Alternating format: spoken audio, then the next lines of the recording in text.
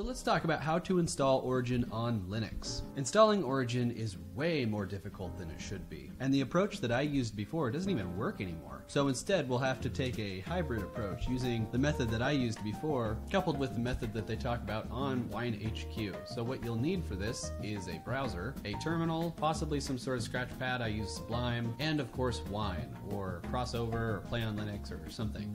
Being able to being able to configure wine prefixes is relatively important, though it's not totally required. So for this video, I'm going to use Crossover. Pretty much all the steps here you could follow using Play on Linux too. You can get practically the same thing out of Play on Linux, though I prefer Crossover better. So first off, you'll actually want to install Origin, knowing full well that it's going to fail. So with Crossover, I just search for Origin, and it's the first result, and of course it says it's not supported by CodeWeavers, it even says that it's known not to work. Unfortunately, we know that. But the important thing is that it will create a wine bottle, which is a wine prefix for us, and it'll bring down all the dependencies. You can do the same thing if you're using vanilla wine using Winetricks, but things like Play on Linux and Crossover just make it easier for you. So let's go ahead and install this thing. There's nothing special with the install process, just say yes to pretty much everything. Now this is the part where we're actually going to install or set up Origin. It's going to fail after this, but the important thing is that it's going to create a directory along with a temporary folder, which we may need in the future. Of course, it's going to ask you to reboot your computer. Say yes, I guess. It's just a simulation, doesn't actually do anything. So it's going to update, and at the end of this, it's going to fail.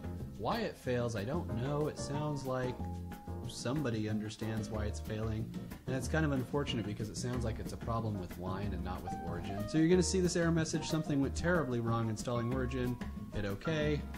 This will pop up. Go ahead and hit OK. So it says installation is complete. Of course, that won't work. Let's go to the web browser, go to WineHQ, look up Origin latest release, scroll down to the section where it says Origin thin setup fails to install or update. What we need here is this URL. We're going to use this to download an update for Origin. Now, once you have it downloaded, go ahead and open it up, and then we'll want to browse to where we have Origin installed. If you're using Crossover, you're going to find it at CX Office, Origin, Drive C, Program Files, Origin. There should only be three files in there, that's fine. We're going to copy everything from the archive, dump it right into this folder. We'll want to replace everything as we go. Now what we'll want to do is go back to Crossover and we'll want to launch Origin. It's going to pop up, it's going to want to update yet again, and then it should fail.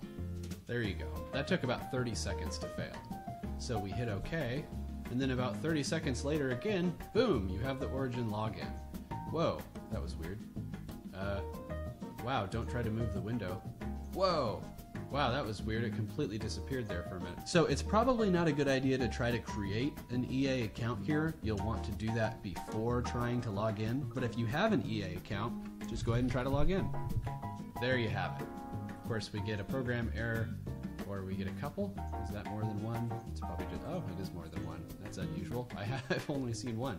We got feature today. Of course, don't try to move any of these windows because it's all jacked up. You might actually have better luck with the window management if you're running it in a virtual desktop, but I'm not doing that. So this was the hard part. Now the final step to getting Origin to work properly is to make a change to one of the files to allow it to fully and completely download a game. So let's go ahead and go to the terminal, and in the web browser we'll want to scroll down to the part where it says can't download games in Origin. So let's copy the second line, Unless you're somewhere weird on your file system, you probably don't need the first line. And let's go ahead and blindly and completely irresponsibly paste and execute the first command. Now grab the third line and do the same thing. Grab the fourth line. Oh, just kidding, you can't actually do that. So you need to actually navigate to where exactly Origin is installed. So in this case, I'm gonna be super duper lazy and just open a terminal here, and then we'll grab the last line and we will execute it. And if you see patch applied successfully, you are done. Not only can you open Origin, you can download games, and you can play games.